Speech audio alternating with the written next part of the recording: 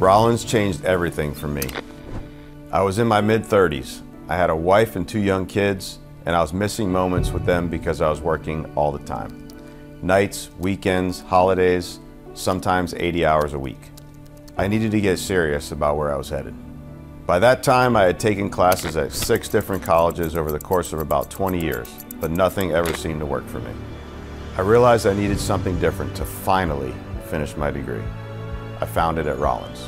The program is designed for you to be successful.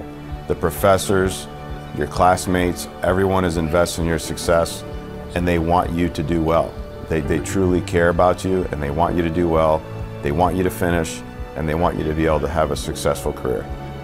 Graduating was one of the most important moments of my life.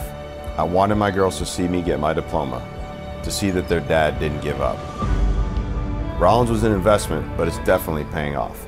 Finishing my bachelor's led me to an MBA and it's helped me build a career that I love. I'm also enjoying the kind of quality life I always wanted for my family. I'm no longer missing those important moments. I know from personal experience it can be intimidating to come back to school. Take the chance and go to Rollins it's worth it. it. it. will do wonders for you, your confidence, your career, uh, and you won't, you won't regret it. I'm living proof.